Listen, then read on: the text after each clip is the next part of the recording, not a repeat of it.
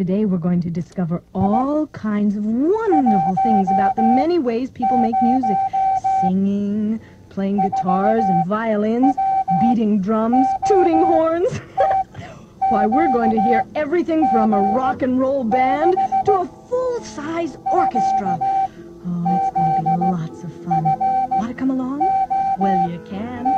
And the best part is, you don't even have to leave the